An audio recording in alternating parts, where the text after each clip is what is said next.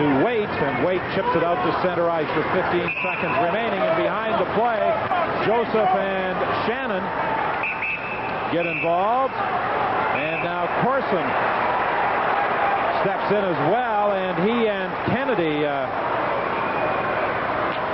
grab each other, but the initial combatants are Joseph and Shannon, and nothing serious is going to develop there.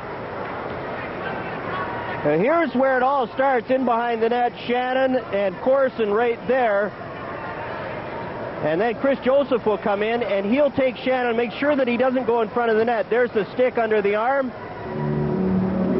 And look at Shannon gives Joseph the shot to the back of the head. Then Joseph knocks Shannon down, pushing and shoving.